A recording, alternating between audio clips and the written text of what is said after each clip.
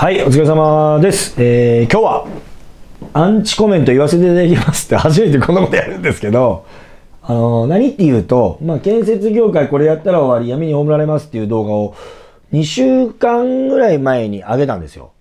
で2週間ぐらい前に上げて、その、まあ、反響すごい良かったんですけど、その10万再生ぐらいもいってんかな、2週間でたった。で、今も伸び続けてるんですけど、その、まあ、いいね率はすごい高い。90%ぐらいだからね、900件か、970件かな今入ってたんかな今日朝見た時点で。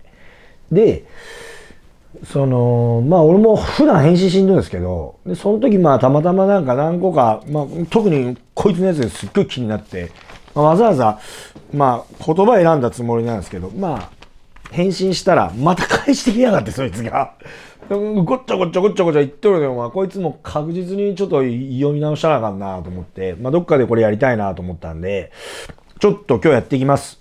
えー、まあ、その、ね、いつも言うように、あの、グッドボタンとチャンネル登録。まあ、特にね、あの、今回、初めてこういうことやるんで、あの、まあ、リスクって言ったらあかんけど、やっぱ一般のお客さんが、ね、僕らに塗装を頼んでくれてるお客様が、まあ、いい気にならんから、それ、まあ、いちいち反応するの嫌だなと思って。アンチコメントって、意見じゃないじゃん、あんな。もうただの悪口じゃん。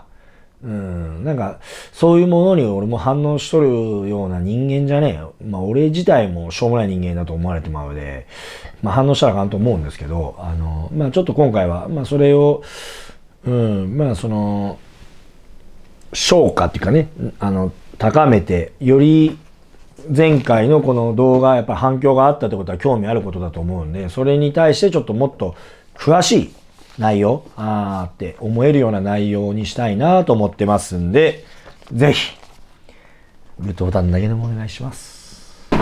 はい。それでは前回のおさらいからちょっと行くんですけど、前回のその動画、あの、闇に葬られますっていうその動画が、まあ、大まかに言うと、引き抜き、飛び越え、独立、まあ、こういう建設業界でこれやったら終わりだよっていう、まあ、話をしたんですよ。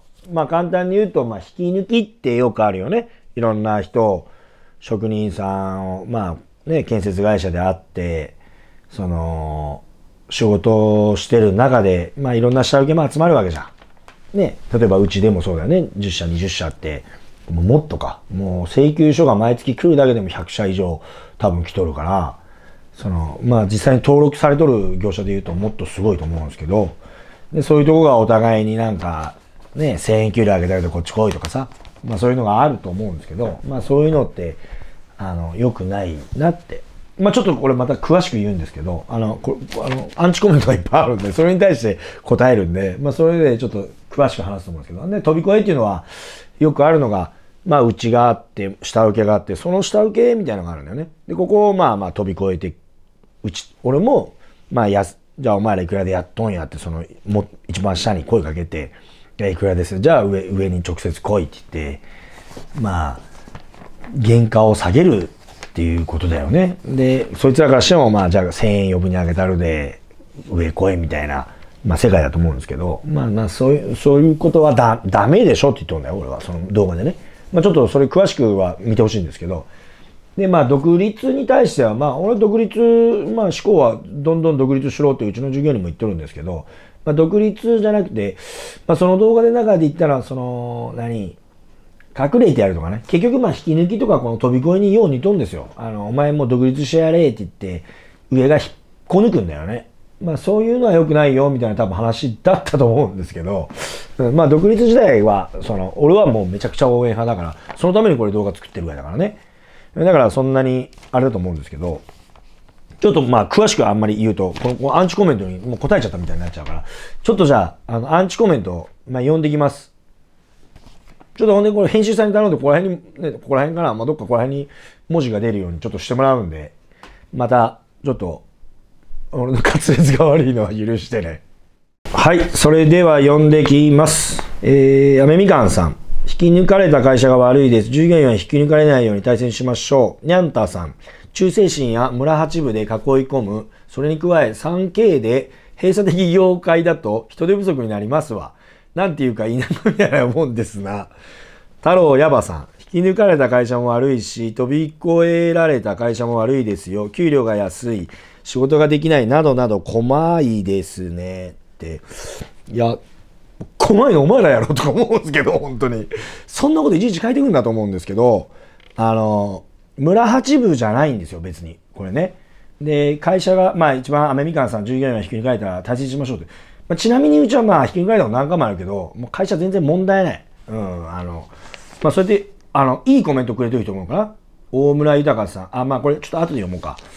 うん。あのーなんちゅうかな、別に村八部うんぬんじゃなくて、どこの業界にもあると思うの。うん。だけどさ、その、俺は別に辞めるとか引き抜かれるじゃなくて、そこにね、あの、行くことっていいと思うんですよ。で、ちなみにうちもヘッドハンティング会社に依頼して、やっぱ優秀な人って探してもらっとるから引き抜くんだよね。だから、俺別にいいと思うんだけど、その、内輪でやるなってことよ。うん、アホみたいに。うん、裏切る。ちなみに俺もそうされたことない。下請けとも良好な関係だし、うん、あの、ないんですけど、まあ一つある。この間ちょっとあったのが、その、まあ YouTube でさ、やっぱ結構求人来るから、YouTube で来た1ヶ月ぐらいの坊主だな。1万ちょろちょろの給料かな。うん、まあなんか何ヶ月かしかやったことないってことで、親方がもう求人で来てね。まあ僕こうやって自営業でやっとるんで、って言って一人親方で来とったわ。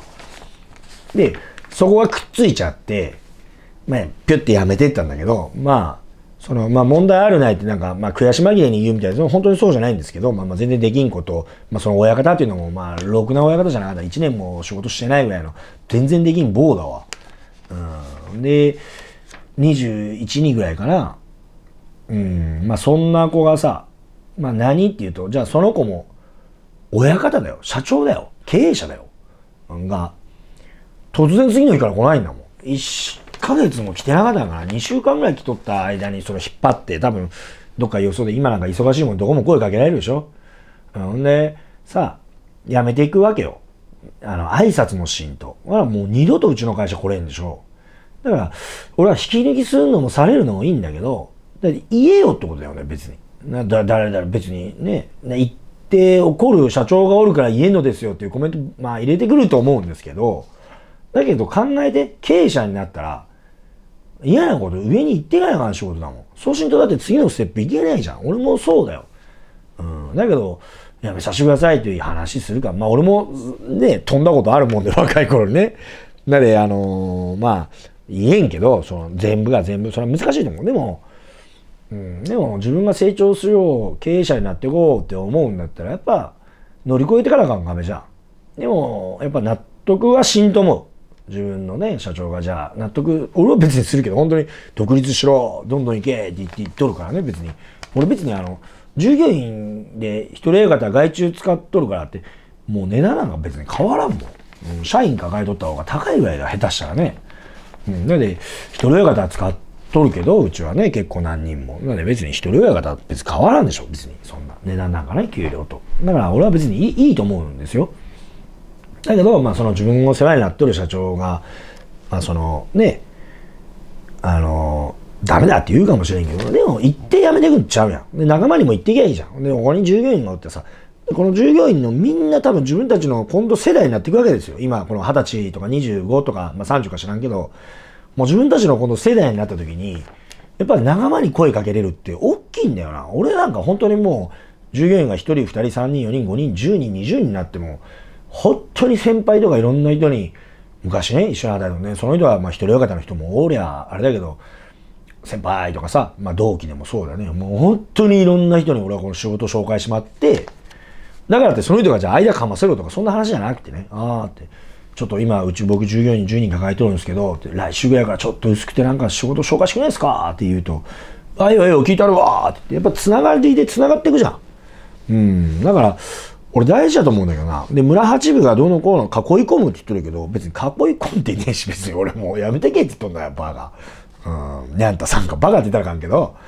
うん。で、田舎みたいなもんですねって、まあ、職人の悪口みたいな感じでちょっとバカって言っちゃうけど、うん。まあ、そのニャンタさんがね、ねやっとるかわからんけど、うん、人手不足になりますわ。うん、なんていうか、田舎みたいなもんですな、ですなって言っとるけど、まあ、いくつのやつか知らんけど、うん、まあ、まあわからんわ。ちょっともう悪口になるんでちょっとやめとこうか。はい、じゃあ次行こうか。はい。村中心さん。外資技術職だけど、引き抜き、ベンチャー独立は日常茶飯事だな。優秀で尖ったスキル持ってる人は金、つ、に、つかめるし、義理人情で、劣悪でつまんない環境に縛られる必要はないんじゃないかな。自分はクソ、つまらん、典型的な日本企業のセーラーに就職して、縁も義理も全部捨てて転職したけど、今すげえ楽しいし、前職の会社、顎で使ってる笑いってあるんですけど、まあ、まあいいことだよね、今稼いどることは。うん。ただ、まあ外資系って本当さ、まあ、消耗品みたいな扱いされて、まあそれでいいならいいんだわ。だって別に日本企業が全部伸びるわけじゃないしね、職人やっとる人たちは、だから俺はやめろ、独立しろっていうのは、ね、自分のついてっとる5人、10人の社長が今度100人になるんだったら、ついていく価値があると思うんですけど、だって俺はまあ独立しろ、やめろっていうためにね、いろんな動画も上げてると思うんですけど、あのさ、こいつアホだなと思ったのは、前職の会社、顎で使っている笑いって、こんなこと書いて恥ずかしいねんか、お前。本当に。まあもうこれ悪口になっちゃうけど、まあごめんなさい、お客様。いっぱいいろんなお世話になってるお客様。あの、普段はこんな喋り方しませんけど、まあね、これはもう、あの、アドバイスじゃないし、意見じゃない。もう、あの、アホ。アホな意見。本当に。前職の会社、アホで使ってる。あのさ、義理人情があるから、いいところもいっぱいあるでしょ。日本人って、そういうとこあるじゃん。付き合いがあるしさ、もちろん。だ俺もう、もうその付き合いでここまで来れた、本当に。いろんな人に助けてもらって。多分俺、松虫コロロさんよりお金持ってると思うけど、俺だけじゃなく、本当ソフトバンクとかね、もう外資系かどうか知らんけど、ああいうのが。だけど、言ってることはやっぱ大切なこと言ってるよ。やっぱさ、じいちゃんばあちゃんに言われたでしょ。本当あの、年上は大事にしろとかさ、腹立ってもさ、アホだなと思っても、頭下げなあかんし。うん。で、もうこういうこと書くやつって、もう大したことないしさ。まあ、こういうのって、まあ、スキルだけからあると、で、消耗品よ。俺よく営業とかにも言うし、職人にも言うんですけど、うん、お前ら消耗品だぞって。だからリーダーになって人使えるようにならなあかんぞって。で、経営者になって、まあ、一人親方が向いてんだったら、まあ、一人親方になりゃいいって。で、人使えない。俺はもう人使えないです。一人でこれやれればいいんですって思ってんだったら、こうやってね、うん、それで稼ぎたいんだったら、じゃあもう一人親方になった方がいいんだわ。うん、だけど、組織におるってことはやっぱ、チーム力を活かせる人を俺は育てたいって思ってるから、うん、まあこの松虫コロロさんが、まあ、うん、月給25万でうちで使ってくださいって言っても多分使わないと思う。あの、部下が伸びないし、こういうやつの下におるとね。うん、結局部下を道具みたいに使うやつおるんだ、本当に。うちも何人か使ってきたけど。うん、前職で世話になったところに、ねえ、こんなこと、アホで使っとるってバカかなって本当思うけどな、俺。縁も義理も全部捨てて、うん、まあ、まあそうやって言ってなんだかんだ親とか大切にしようかな。まあわからんけど。ちょっと次行ってみましょうか。けけ虫平蔵さん。おさもどうせ上には何も言えんのでし、のっしょ。強いもんに弱く、弱いもんに強いじゃ、おっさんも偉そうに言えんで、今はしっかり安定してるから、ええよな、笑い、なんですけど、もうほら、もう本当お前バカ野郎、ターゲ。うんと、腹立つなすいません、お客様、いろんなお世話になってるお客様、先輩方。うん、違う違う、もう、バーって言わんけど、うん、あの、全然安定してないし、安定してないんじゃなくて、まあまあ、そもそも、俺も会社やったきっかけが別になんか、うん、今日は明日の金欲しくて商売しとるんじゃないんですよ、本当に。うん、だからこうやって YouTube なんかさ、出てさ、42だよ。YouTube なんかやってさ、社員たちとアホなこともやってさ、で、何のために一生懸命やってんのって。やっぱ、ね、ついてきてくれる人たちのためよ。で、それプラス、まあいろいろ自分で、まあついてきてる人たちのためだけじゃない。自分のためでもあるけど、やっぱ自分が一国一城の主になって、ね、あのーやっぱ誰にも負けない経営者になりたいっていうのがあるで頑張っとるわけじゃないですか。うん、全然、もう俺も12年経営者やってここしか言ってない。俺もっと目標高かったからね。十何年で100億まず目指しとったんだ。立ち上げた時で、全然遅れとるで、毎日必死で働いとる。お前言ったるけど、本当に。KK 虫平蔵さん。皆様、あの、うちのファンね、ファンっていうかね、まあ、90何パーセントはいいねつけてくれた人たちが気分悪くなったら申し訳ないなと思うんですけど、うん、まあだけど、そんな、まあね、この意見を言いながら、まあ俺の考えも伝えたいなと思ってるんであれですけど、本当に、まあアンチうんぬんじゃなくて、焦っとるまではいかんけど、でも本当に次のステップ、ステップ見えてるから、どんどん上がずっといる。だから俺も頭下げなあかんこと、頭下げとる回数なんか俺多分従業員で一番多いって、本当に。経営者だよ。うん、従業員にも頭下げる時あるんだもん。うん、で、お客さんにももう何かあってもう、引けん時は俺が行くんだもん。もう大火事になって、うわーって揉めとるお客さん、ね、弁護士、ね、労務士、税理士、税務署、いろんなところに、もう俺、俺が一番頭下げてるって心配するな、お前。経験無視映像。バイバイ。次行こうか。マルジーニュなんちゃらなんちゃらさん。英語だでちょっとわからんけど、この方ずいぶん昔気質、よく言えばですが、ですね。引き抜かれた職人にも当然ながら生活もあり、手間が良ければ行っちゃうのは仕方がない。そもそもその職人のレベルに合った手間をきちんと払っていれば、引き抜かれることもあまりないかと思います。建設業界は狭いとも言っていましたが、予想に移った人に会うなんてまずないですよ。狭いエリアだけでやってらっしゃるんでしょうかって。まあまあ狭いエリアか俺はどうか知らんけど、まあ愛知、三重、岐阜でもやってる、まあ結構大きい方だと思うんですけど、その、合う合わんじゃなくて違うでしょ合わんようにしとるだけでしょまあまず。うん。俺は、16から職人やって、その16に出会った人たちも、まあ電話しんよ。本当にもう何年も電話喋ってないけど、そういう人たちと、俺の心の中でやっぱ繋がっとるから、まあ、どっかで、あ、先輩ってもあるし、電話して誰々さんちょっと調べてくれんかな、どこどこに今おるらしいじゃんって、ちょっと口聞いてくれんかなって。もうその繋がりだけで俺ここまで本当に来たして。来たしって言ったから今俺。うん、で昔期日、まあよく言えばどの頃って書いて、手間が良ければ行っちゃうのは仕方がないって言うけど、ちゃうでしょ。うん。で、生活があるからって、いや、ちゃ、本当ちゃうでしょって。引き抜かれて黙って生き抜くやつだよ。俺に下請けで来て、で、さっきもちょっと話したけど、そんなんさ、行ってこう、不幸になるのって、そいつじゃん。何にもわからんと若い坊主がさ、二十歳そこそこ、18区そこそこでさ、ねえ、30そこそこで一人二人従業員使っては、まあ喉喉から出るか出るほど人が欲しいんでしょう。で、常用で行って、なんか3000、4000円ピーハネして飯食っとるようなやつでしょうそういうやつが1000円余分にあげてあげてこいって言うわけじゃん。うん。で、まあさあそんなとこ行って明日仕事あるかどうか今はいいわ、忙しいで。で、暇になった時に本当に生活守れるのって。うん。で、でそこを俺言っとるんだわ。別に引き抜くことも別にやめていくこともほんま全然構わん。だけど、もっとだって視野を広げなあかんし、まあその、この人が狭いエリアでやってるだってよっぽど悪い会社で、俺辞めていくのがいいと思う。で、辞めますって言えばええやん、別に。どこどこで世話になってね、その下請けもね、まあ例えばその行ったところも、どこどこの仕事したけど、もう二度とこんな会社の下請けなんか俺やらんわって。あそこどういう扱い？俺も何回もある。でも、もうあなたの仕事は一切やりません。申し訳ありませんって言って言ったこともう何回もあるで。うん、そのうちの従業員消耗品じゃないしって。うん。で、あなたみたいな人とは付き合いませんって。やっぱ自分が一生懸命やって、ね、あの、うちの従業員ももちろん一生懸命やってくれとるから、ね、飛びやっとる時もそう、塗装やっとる時もそう、お客さんがおるからちゃんと。だから、なんで俺があなたの仕事なんかやらなあかんのですかって断ることできるじゃないですか。一生懸命やっとりゃ。だけど、黙ってやめてった。黙って引き抜いたってことはなんかあるんでしょ？そこになんか。うん。ねそれを別にさ、なんかこの、生きり倒してさ、うん、狭いエリアでやってるから、うん、そうじゃないのとか、村八分みたいなね。お前にやりたねえわだよね。ちゃちゃ、まあいいか。あんまりそれ言ったらね。申し訳ありません。皆さん。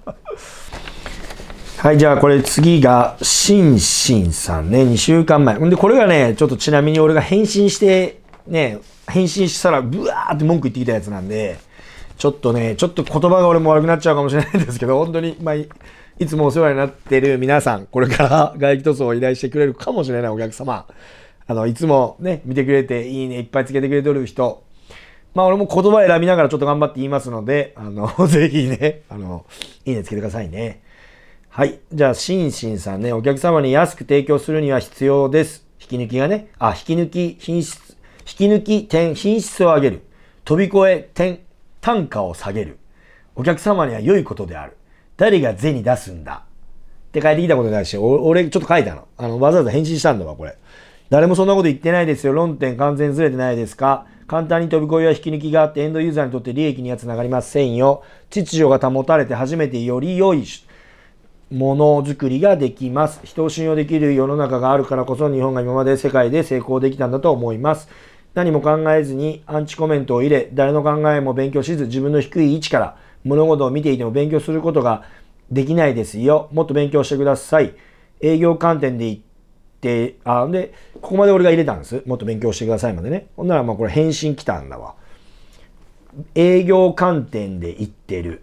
お客様にとって安くて品質がいいのであれば仁義など必要ない。低いのはあなたです。元請けが潰れて、潰れかけていて10億貸してくれと言って貸せるのですか仁義でぼったくってるから飛び越えがあるのでは原価公表できますかあのね、お前、アホやろほんと、ボケ あのね、レベルが低すぎるんだわ、本当に。お前が、誰のやつか知らんだけど、このシンシンさんね。俺本当にもうこれだけ動画撮ったろうと思っとったんで、まあまあちょっとカーってなるけど、俺もあのね、営業観点で言ってる。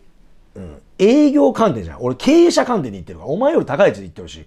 まあお前が営業かどうか知らない。まあただ悪口書きに来とる誰か知らんけど、あの、言い方考えて書けよ、お前。本当に。バーガー。うん、ね。申し訳ないね。で、お客さんにとって品質がいいのであれば、仁義など必要ない。俺、仁義がどうのこうなんか言ってないでしょ。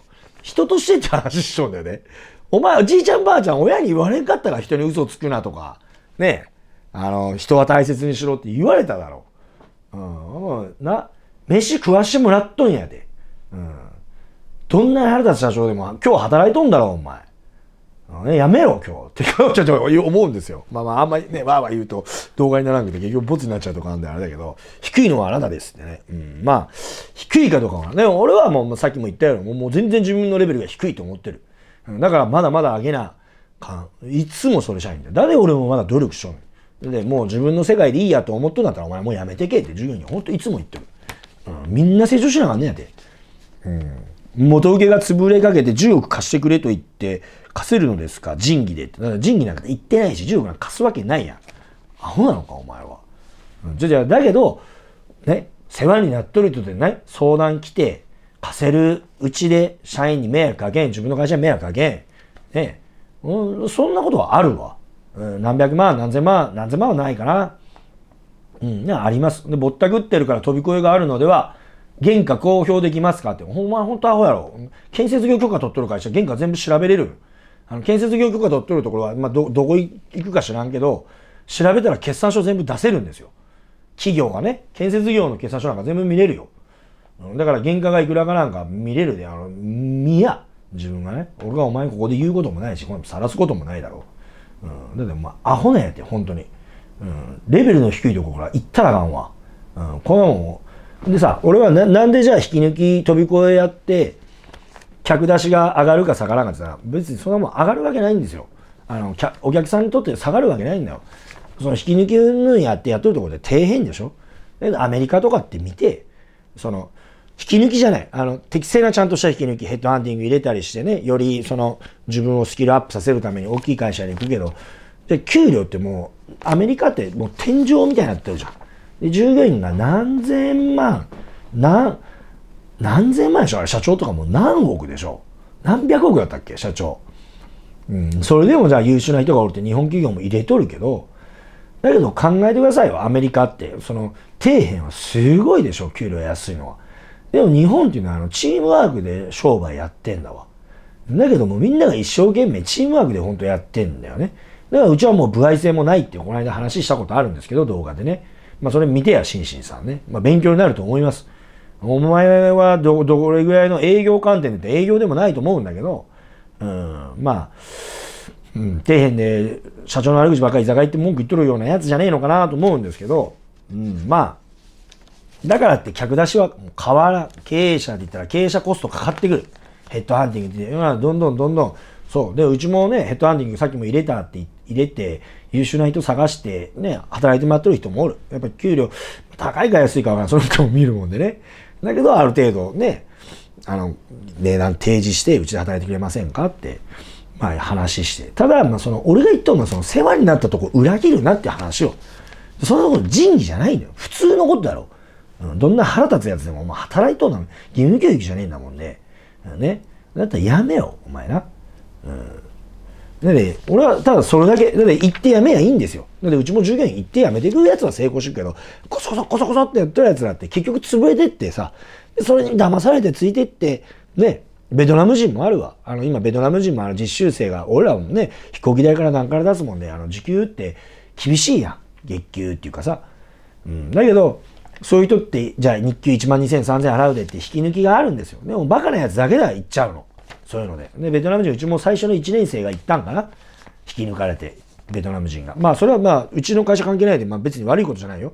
でも、行っちゃったベトナム人の子はかわいそうだと思うわ。で、うちも最初の1年目で悪かったもんで、この子に対してね、ちゃんとやってあげれんかったら、うちも悪い。もちろん悪いと思うんですけど、うん、ただ、その、行っちゃったことで、ね、なんか原発かなんかの方行って、で、今1年ぐらいしてボロボロになって、このうち使ってくださいって来たんだね。うん。ちょっといい金パって出されて、行って、結局うちがやっぱいいけど、でももううちは使えないんだわ、法律上もなんだけど、もう突き出さなあかん。あのね、その、なん、なんちゅうの外国の管理しとる、外国人管理しとるところに出すしかないわけよ。使ったらいいわけよでもその子借金して日本来とんだよ。で、半年か1年いいように使われて、ちょっと花壇がもらって貯金できたかできてないか知らんけど、俺は。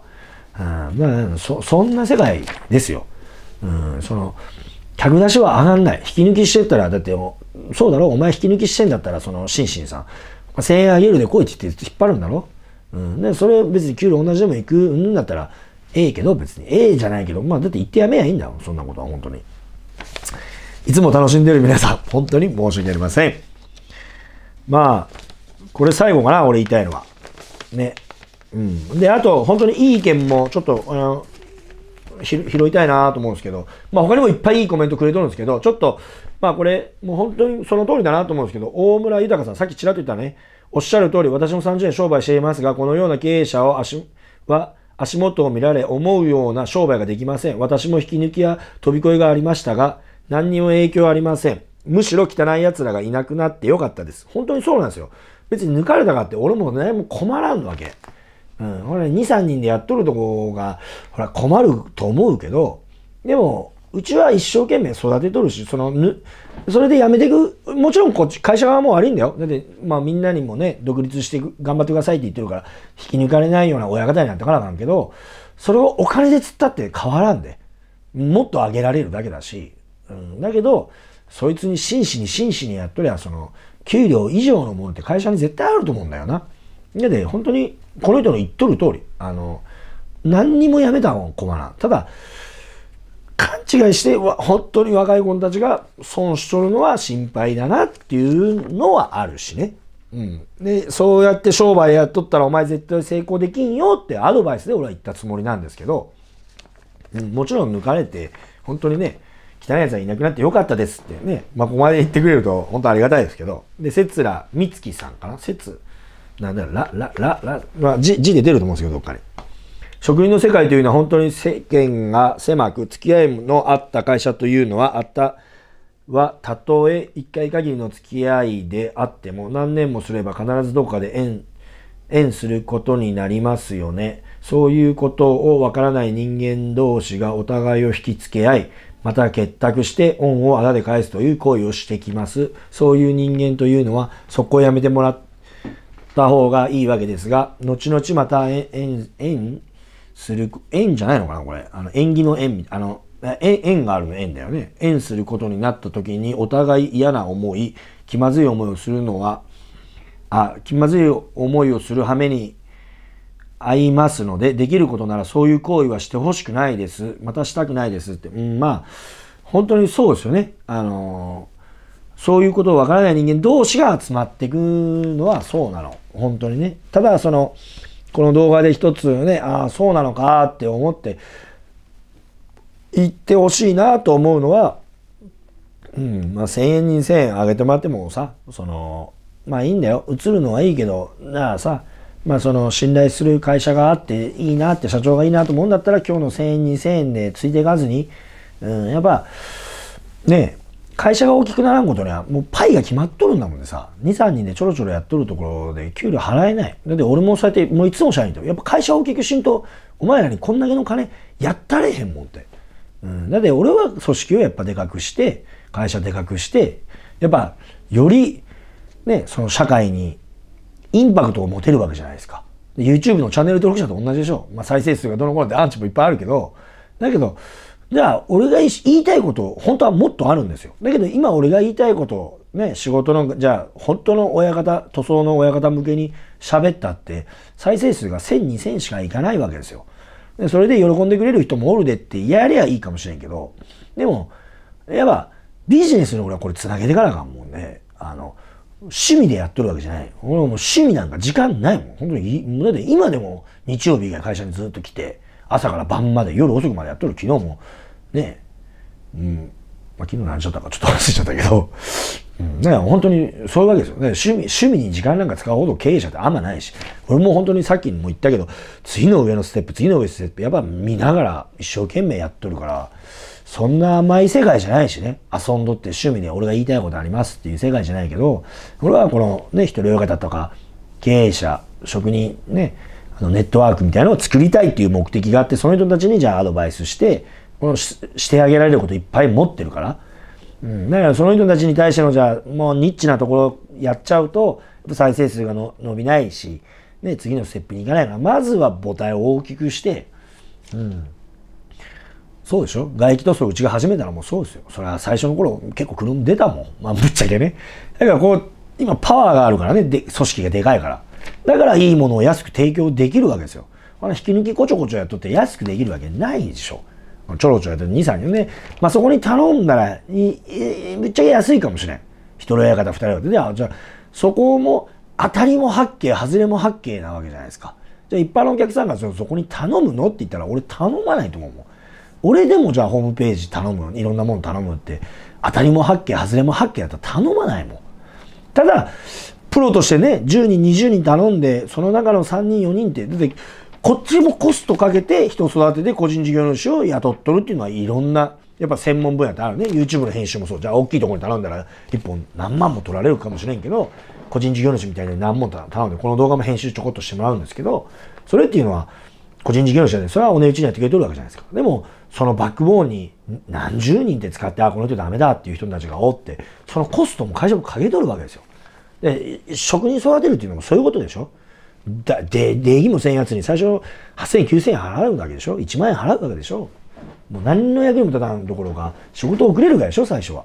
そこに投資して育てる。でそこがちゃんと育ってついてくる。で、それを反面みたいなさ、ね、あの、挨拶もしんとやめていくって、それはその人間として話しとるって、仁義とかそんも関係ないもんな。うん。まあちょっと今日本当に多分長なったと思いますけど、あのー、やっぱ大事なことだと思いますし、結構ね、反響もあったんで、これも本当に、まあ、全部が全部じゃないと思うし、ただその、自分、俺はもうその自分の周りしかわかんない。だってそのね、よく俺はボランティアとかあんまり好きじゃねえんだっていうか、その遠くの人までね、俺はやれない。でもやっぱ見たら、あその、そばにおって見たら、あなんかやってあげたいなって思うけど、じゃあ俺がアメリカで戦争が起きたなりね、戦争起きたっても、そこまでやってあげられるパワーもない。俺も大統領でも何でもないし。うん。だけどそんなことで悩んでもしょうがないし。うん。だから今目の前におる人たちと一生懸命ぶつかっていくしかないわけでしょ。うん。だから、その自分たちの周りにおる人も大事にできん人たちがああいうアンチコメント入れると思うんですけど、でもその周りにおる人たちと一生懸命ぶつかったらもう絶対成功すると思うよ。うん、俺は本当にもう人に持ち上げてもらった。本当に。周りに。うん、いろんな人に助けてもらって、それが村って思うんかもしれんけど、まあ、村でいいもんね。まあ、別に俺世界に、ね、じゃ次のステップあるよ。で、世界に出るぞ。フィリピンも行くぞ。